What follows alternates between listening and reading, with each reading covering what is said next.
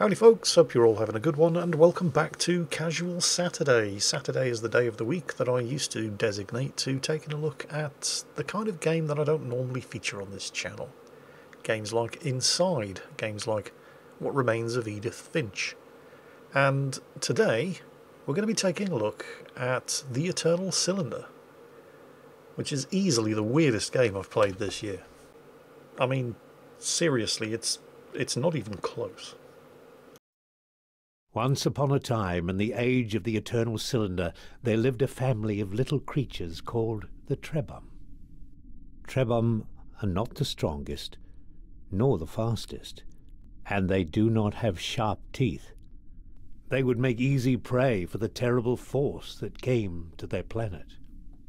But Trebhum are loyal and resourceful and very, very stubborn.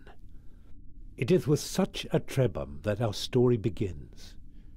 One clever little creature born into a cruel world who would be instrumental in bringing prosperity to its kind.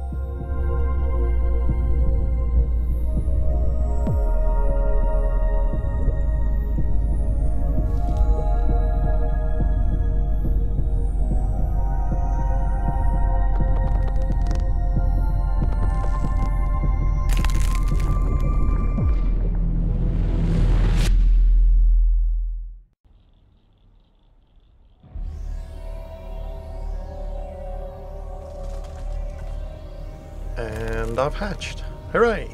It's good to be alive. Run, something inside him said, run. Well, except for the fact that there is a dirty, great big, planet spanning cylinder behind me and it's rolling in this direction, crushing everything in its path. And I am but a poor little lonely Trebhum. And I can only do two things. Well, three. Run, jump, although not very high. Here it comes. and snort stuff off through that dirty great big hooter on the front of my face that passes for a nose. Now, you remember I said of the three things that I could do, jumping was one of them, but I couldn't jump very high. Yeah, about that. And the cylinder doesn't really give a shit about my problems. Oh, it's getting awfully close. So how am I getting out of this one? The great crushing thing, the great cylinder, had stopped. Perhaps it was safe here for a little while. How quickly it learned to use its legs and its trunk. But these things were not so much learned as they were remembered. Perhaps the little Trebhum thought they were a gift from the strange voice it heard in its mind. That too was a kind of memory.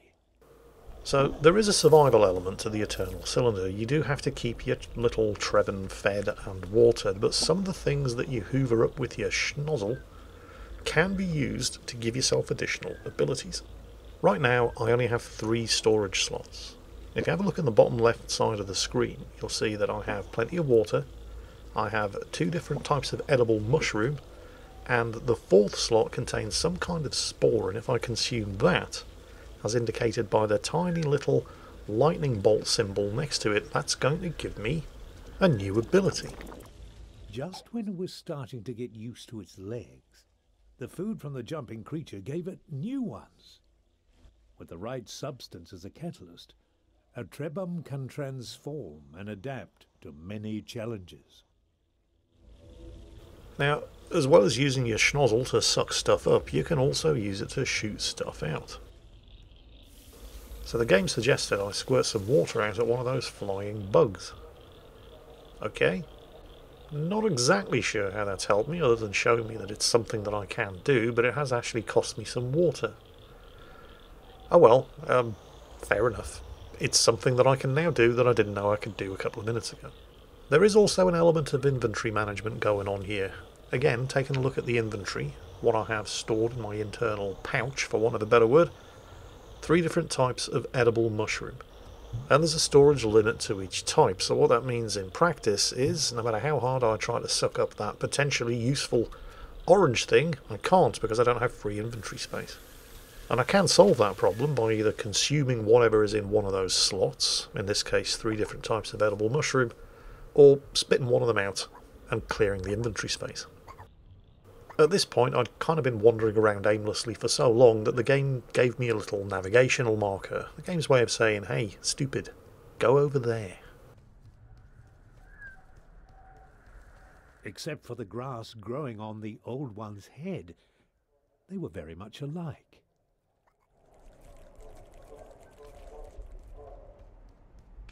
Surrounded by this light, the Trebhum knew things it had not known before. It knew the older Trebhum had carried this light for a long, long time. And it knew that now that responsibility had passed to the next generation. Yes, this young Trebhum had to carry the light to those great towers in the distance. It could have stayed here to learn many old things, but the cylinder would not allow it.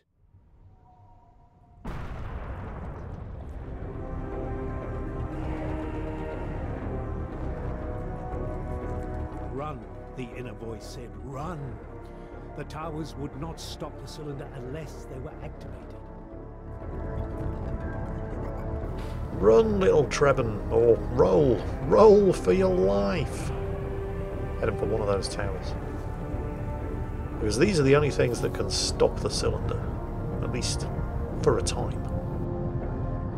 Quickly, the Trebhum had to step on the symbol or the cylinder would not be stopped.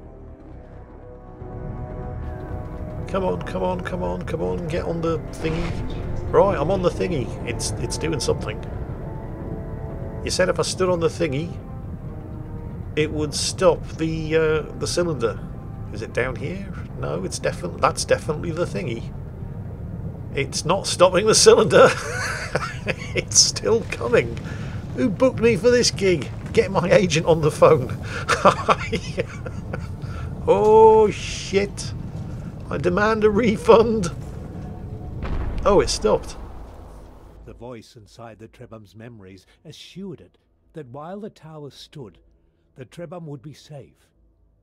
The power of the eternal cylinder was contained for now. Right, so we're not going to die immediately. That's always nice to know. This relative tranquility gave the Trebhum a chance to think about its family. Trebhum are not meant to live alone, so where were the others? So, if at this point, much as I was, you're thinking, what the hell is going on here? Congratulations. Great minds think alike. Or possibly it's fools never differ. Oh, that thing doesn't look very friendly. Oh no, that doesn't look very friendly. Hello. Do you want to be my friend? Oh, that would be a no. but she'd probably get out of here. Um, yeah, so if you're thinking, what the hell is going on here? Just exactly what kind of crack pipe were these developers smoking? The kind of crack pipe that makes you see things like that. then, congratulations, because that's more or less exactly what I was thinking too. How to describe the Eternal Cylinder? It's kind of like No Man's Sky got really, really high and had a drug fueled three way with Spore and Lemmings. The Lemmings part, we are, well, we're getting a hint of here. This symbol is basically telling me that I'm going to need three Trebons in order to get through that door. So I have to find another two Trebon eggs and hatch them out. The No Man's Sky influence, well, you can see just by looking at it. And we've already had a hint of the Spore influence by consuming certain things, we evolve new abilities. Hello, my name is Bob. You look very nice. Do you want to be my friend? Doesn't want to be my friend. Doesn't want to kill me either, so that's a plus. Right, let's let's evolve ourselves some new abilities. You hear the sort of honking trumpet-like noises that this particular plant is making? I've just sucked down one of its seed pods. If I eat that seed pod, something's going to happen. And there it is. I now have a trumpet on the end of my schnozzle. And this will allow me to scare off predators. So let's put that one to the test. Hey you, shithead. How'd you like my scary noise? Yeah, he doesn't like that very much, does he? Those things are such pussies. I'm still going to need another two Trebbin though. And I've got to be honest, I don't even know what a Trebbin egg looks like. Then by a massive stroke of luck, I just kind of, well, wandered right into another live Trebbin. Finding another Trebhum was a cause for joy, but this new friend was not well. Deep inside the memories it had inherited, the Trebhum found the answer. To recover, its friend needed a very specific substance which appeared as glittering clusters of crystal dust. So this new Trebbin is basically suffering withdrawal, and I have to supply him with some sparkle dust, or at least that's what I got out of that. Maybe I'm just reading too much into it. But anyway, I have managed to successfully recruit another Trebbin, but I'm going to need three in total. And this is kind of where the Lemmings thing comes into it. So I'm still controlling the original Trebbin, and the one that I just recruited is following me around. And that's when I come across my first Trebbin egg. Our young friend had found an egg, a Trebhum egg, with one of his seedlings inside. The egg had been abandoned, but it could still be made to hatch. All that was needed was a source of heat. So I'm busy playing egg football when the game very helpfully tells me that I can actually pick this egg up and is this going to be a good enough source of heat? I mean it looks... Yeah, it is, hooray! I now have the three Trebbin that I need. Fantastic. I will call you Bob. It's short for Kate. So with young Bob, short for Kate, added to my little band of three Trebbin, I've now got the three dudes that I need to activate the thing. And they will feed themselves, by the way. You don't have to worry about them starving, as long as there's a supply of food around. Ooh, what's that? Looks like it's got an arse for a face. Hello. Do you want to be my... he doesn't want to be my friend. Oh, bollocks. I think it might be a good idea to run away, since that was the only Trebbin I had that had evolved the ability to scare off predators, although it didn't seem to work too well. Um, maybe Arseface over there just isn't as big a pussy as Shithead. Either way, I'm not hanging around to find out. So I now have just the two Trebbin, and neither of them have evolved any special abilities. Well, shit. So, back to the fart trumpet plant, chow down on one of its seed pods, and should now, there it is, have the ability to scare off some of the less impressive predators. Now, unless I'm very much mistaken, it looks like there's a Trebbin egg on the middle of that pedestal in the middle of this pond, but well, I'm not very good at swimming. But I do appear to have sucked up something from the water. Let's go ahead and use that and see what it does. And... Ta-da! I am now Fat Bastard McTrebbin. Which basically means I now have seven rather than four inventory storage slots. So that's good, I suppose. It's not helping me get that egg, though. There's got to be something I can do. Well, of course there is and it is fairly obvious. And so, of course, it took me an embarrassing length of time to figure it out, but uh, scuttling around in the pond there, there is a type of fish that if you consume...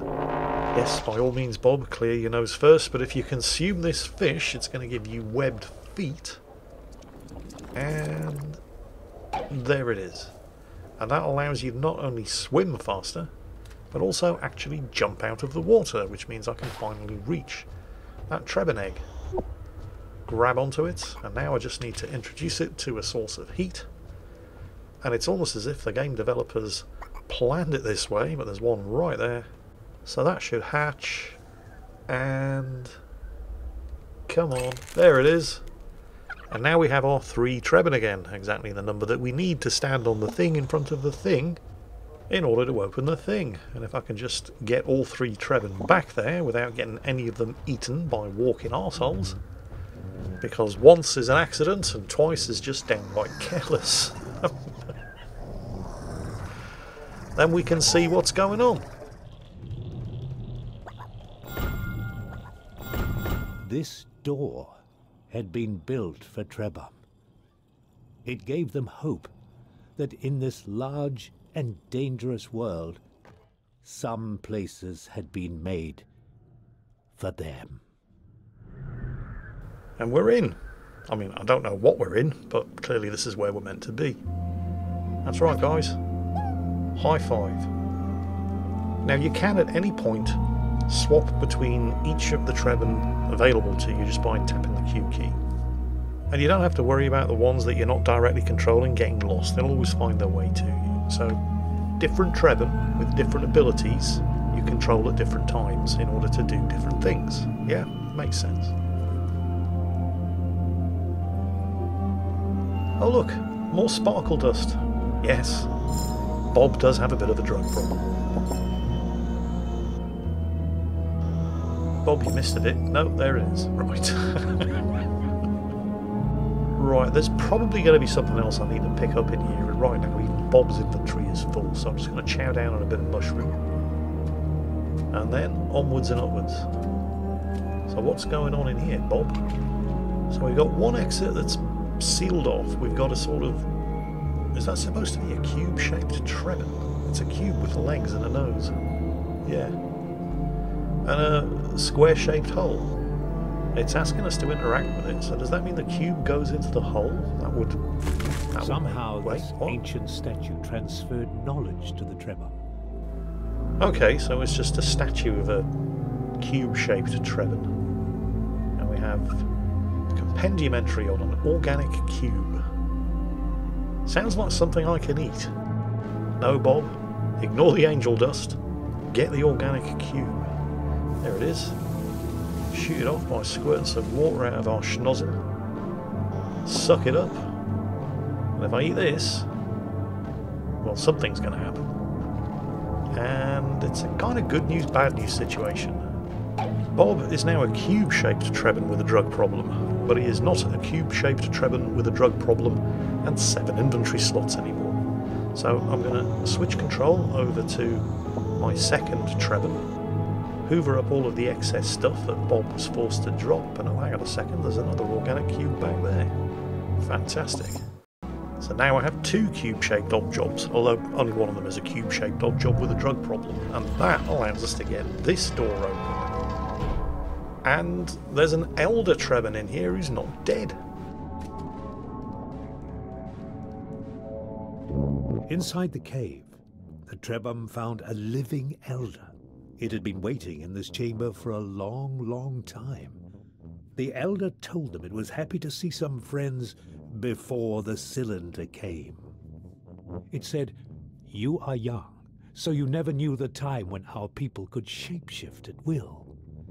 We Trebhum are inheritors of a vast tree of abilities, abilities passed on to all future Trebhum.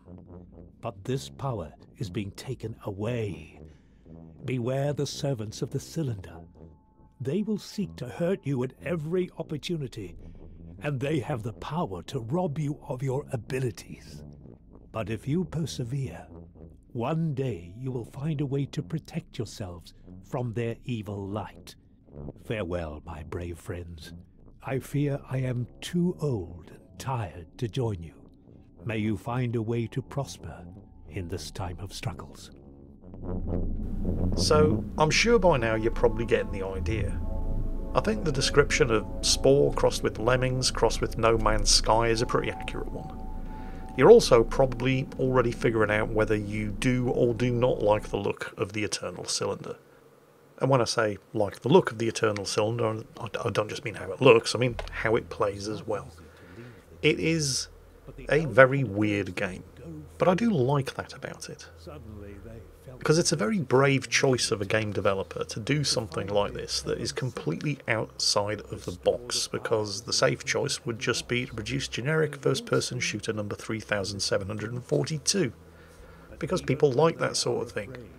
As soon as you start doing stuff like this that is so different, you immediately polarize your audience. And your audience isn't going to be that big to begin with because, well, there's a reason why mainstream games are mainstream. They're the kind of games that most people like to play.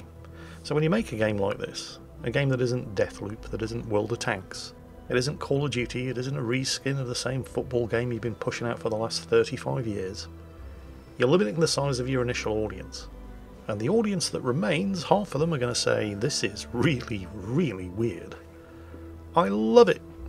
Unfortunately, the other half are going to say, This is really, really weird. I don't like it. So making a game like this, which is really, really weird, and that's exactly what Good Shepherd Entertainment have done. It's a very brave move. At the same time, though, because you're not trying to compete with the Calls of Duty and the Far Cries and the Maddens of this world, expectations are fairly low. So you can afford to be a bit more experimental and, well, weird. And because you are a small independent developer, you're not Electronic Arts, you're not Activision Blizzard, the development costs haven't run into the hundreds of millions of dollars, you can afford to take chances and, well, do weird things with the gameplay. Things that make your game stand out from the crowd. And they've definitely managed to do that with the Eternal Cylinder. And you don't have to shift that many copies in order for your game to be considered a success. And I I really like the Eternal Cylinder because I mean it is weird and while the influences are fairly obvious, I mean visually, No Man's Sky, gameplay wise, Lemmings and Spore, it's still unlike any other game I've ever played. I mean, I have played Lemmings, but it was a very, very long time ago, and I didn't actually like it that much. And I've never played Spore, but I do like the Eternal Cylinder. While I absolutely accept that it probably is just a little bit too weird uh, to have any kind of mainstream success. I'm pretty sure the developers weren't expecting to have any mainstream success anyway, and they'll be quite happy if the game just succeeds on its own terms. And honestly, I think it deserves to. The Eternal Cylinder is available right now on the Epic Game Store for a very reasonable $29.99, although it's enjoying a 10% reduction until the 18th of October, which means that right now you can snap it up for only $26.99 in the USA or £21.59 here in the UK. Hopefully by now you've all seen enough to know whether or not you want to take a chance on it, but honestly, at that kind of price, it really is an absolute bargain. Well, anyway, that's it for today. I hope you've enjoyed the video. I hope you're at least slightly interested in the Eternal Cylinder. Enjoy the rest of your weekend, and as always, take care, stay safe, and I'll catch you next time.